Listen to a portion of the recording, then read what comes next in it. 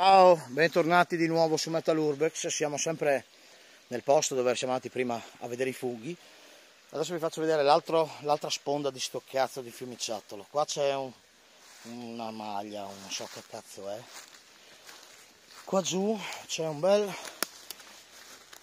porcellame di un televisore a tubo catodico, due secchi, qui c'è un pezzo di ferro che non si sa che cazzo è, contenitore di plastica, guardate che cazzo non c'è qua sopra cioè a parte pezzi di, di, di mattoni, di, di, di calcestruzzo, di schifezze varie, cioè c'è veramente un porcilaio, flaconi di qualsiasi cosa, tovaglie, vediamo se mettiamo il flash perché ecco si vede un po' meglio,